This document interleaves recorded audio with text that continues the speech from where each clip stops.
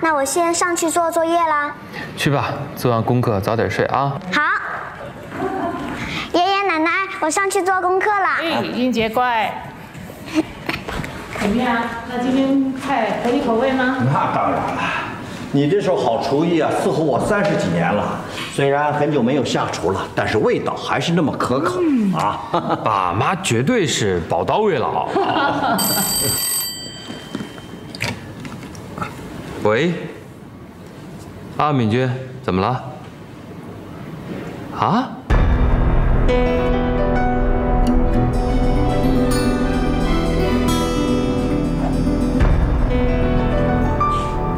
阿姨，阿姨，怎么会这样？妈，成斌，妈，怎么回事啊，妈？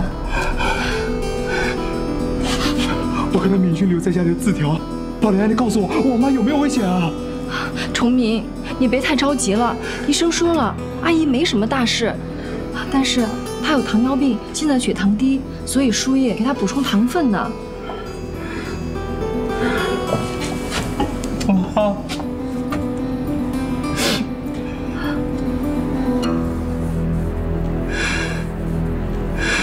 崇明，你别太难过了，还好阿姨没什么大事。哎，对了，敏君去办住院手续了。哦，谢谢你啊，宝莉。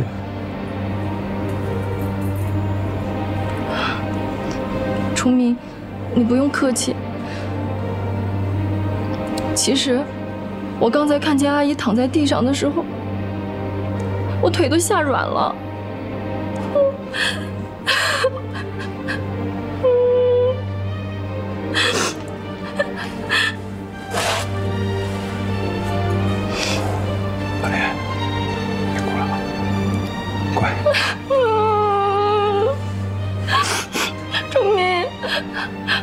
我看见阿姨躺在那儿，就像看见我妈妈一样。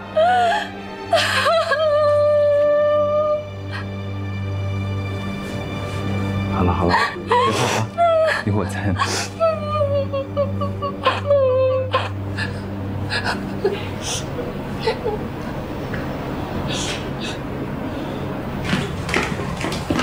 哎，敏君，啊，对，玉梅阿姨怎么样了？哦，正在休息呢。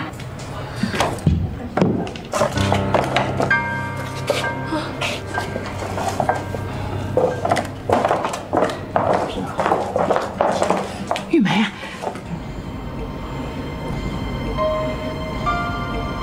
哎呦，这到底怎么回事啊？敏君打电话来说，说你妈在家里昏倒了，把我吓死了。妈，其实我们也不知道到底是怎么回事儿。不过玉梅阿姨她惊吓过度，血糖变低，所以她昏过去了。医生说没什么大碍了，就是要留院观察。王董事长好，请问这哦，这位是我太太。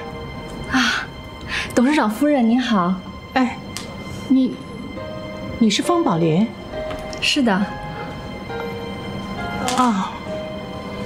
董事长，我要跟你说一件事儿。从明天开始呢，我不想去公司上班了。为什么？我妈本来就身体就不好，现在又上了恐吓，我担心她的身体受不了，所以我打算以后二十四小时都陪着她。二十四小时陪她？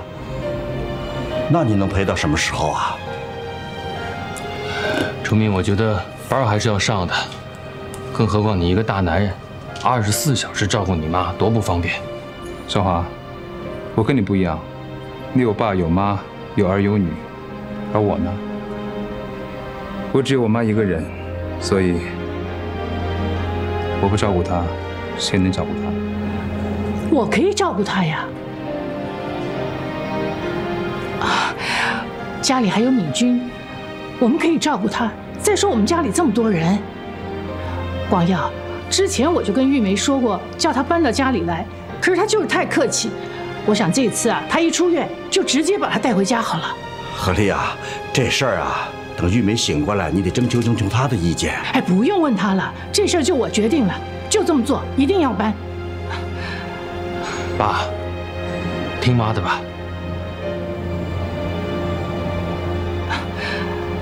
你这啊，这次家里多了一个玉梅阿姨，可能你又要更辛苦了。放心吧，妈，我很愿意。